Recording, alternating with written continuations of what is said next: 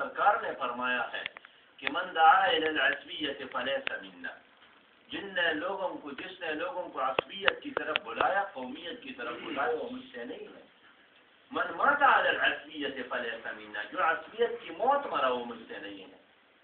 من قتل على العصبیت فلیس منا۔ جو عصبیت کے لیے لڑ پڑے، وہ مجھ سے نہیں ہے۔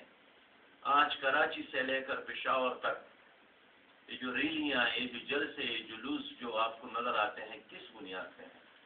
کوئی بلوچ بن گیا، کوئی پٹھان بن گیا، کوئی مہاجر بن گیا۔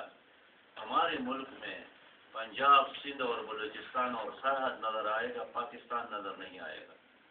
ہمارے ملک میں آپ کو سنی دیوبندی، شیعہ نظر آئے گا، مسلمان نظر نہیں آئے گا۔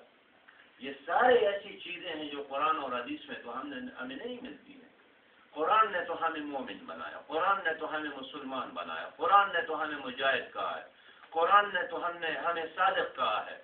تو ہم صادق تو نہیں رہے، مومن تو نہیں رہے، امین تو نہیں رہے، مجاہد تو نہیں رہے، ہم وہ چیزیں بن گئے۔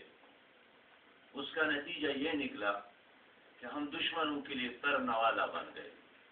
ہم دنیا کے لیے ایک مزاق بن گئے۔ ہم دنیا کی میڈیا میں ایک مسخرہ بن گئے۔